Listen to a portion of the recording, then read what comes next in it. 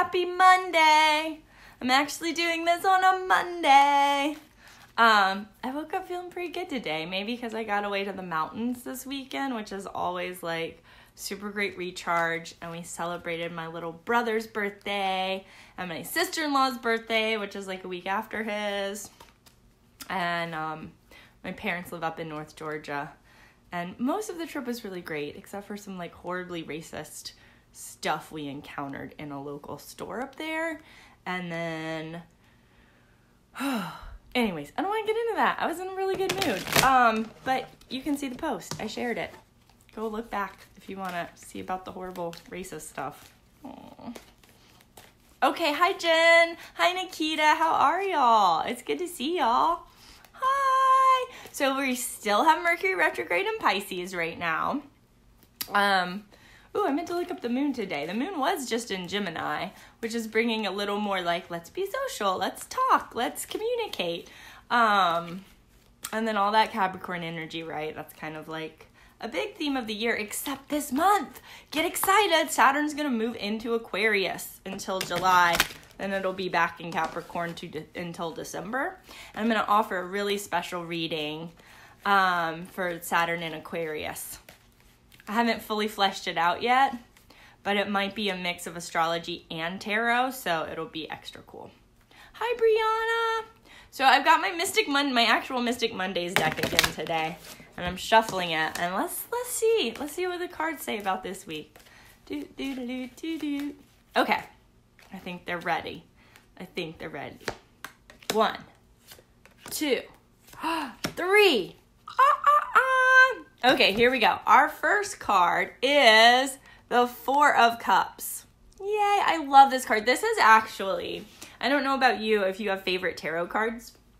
Um, but this is one of my favorites ever of all time. Usually, and well, I don't want to say usually, there's a million different decks out there. In fact, I love this card so much. If y'all have tarot cards, will you find your four of cups in whatever your favorite deck is and like send me a picture because or just post it in the comments? Because i really love seeing different depictions of this card. But in like the more traditional rider waite smith deck it's some guy sitting kind of tired and beat up under a tree. Maybe not beat up but he looks pretty exhausted. And there's three cups in front of him much like in this card. And then out of the air a magical hand appears with a fourth cup in this deck, it's coming down from above. It's this woman seated in meditation, three cups in front of her, and she's between two trees. Um, and I really love it in this deck because for me, the Four of Cups is about surprising and unexpected opportunities and how we shouldn't, if the three options in front of you aren't feeling right, this is so relevant to like the days and times we're living in. Oh, hi, Amanda. You're actually up for my live. It's been forever. Yes. Remind me what time zone you're in. Mm, I don't remember, but it's good to see you, Amanda.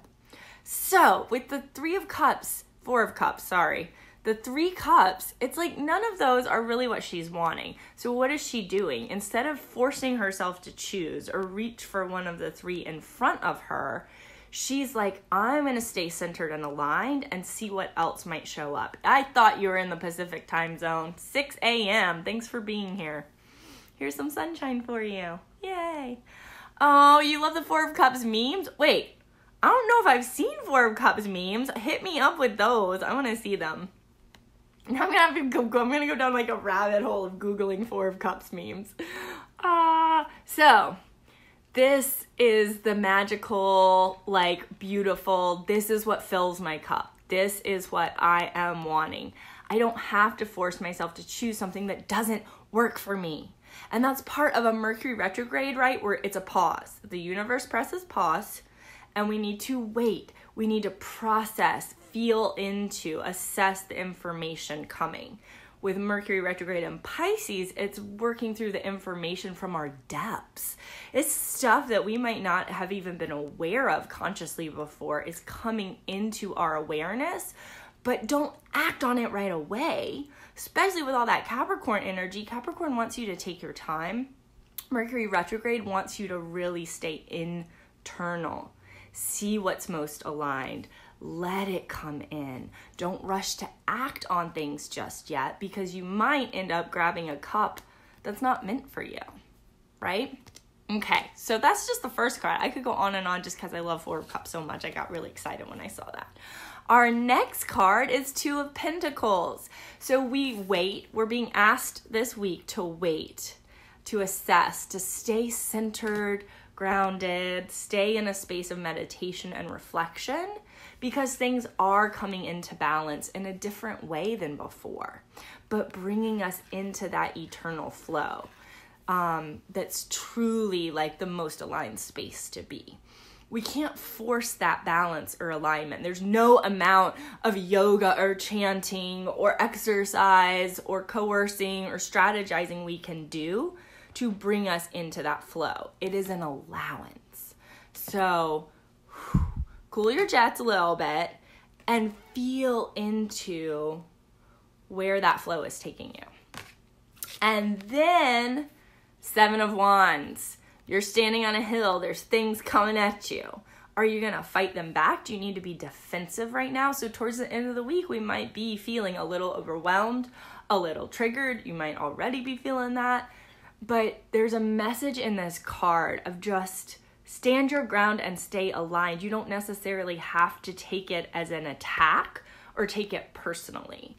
Because for people that aren't really able to be doing their their own work and staying aligned, they might start acting out a little bit. And it might feel like other people are judging you, or it's bringing up your own insecurities about when I'm not actively rushing around and doing and choosing and coercing and creating, maybe I'm feeling like I'm not really in the flow. Maybe I'm feeling like this is very vulnerable for me to just sit here with myself. And that can create, sometimes we create a sense of judgment or defense that isn't actually there. And that's what Seven of Wands asks of us it's to honor your passion, honor your desire, honor what's right for you, and know your strength and worth and value. And see, like, maybe all of these wands down here are coming because they see you as a leader, or they're drawn to you, or they're coming to say, like, heck yeah. It's not, why does it have to be an attack? It's not necessarily an attack. These aren't swords, these are wands. Rally your priestesses, rally your wizards, rally your magicians um, we are moving into a time, especially as Saturn moves into Aquarius, and ultimately Pluto is going to be moving into Aquarius in a couple years. This Aquarian energy is about the collective. It's not about us standing on our own, but there will be leaders we need to follow. And where in your life are you leading? Where do you really have to honor and stand your own ground, rooted in your desire, in your deepest passion? And maybe there's a bunch of, of other magical people coming in to support you. But you have to be okay with everything that comes up when you sit there and try to trust yourself and be authentically who you are and let that be seen and known in the world.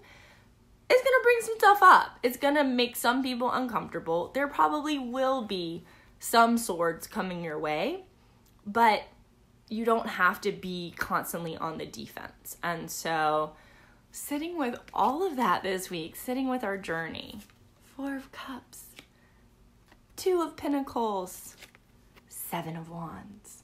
So, we have water, earth, and fire.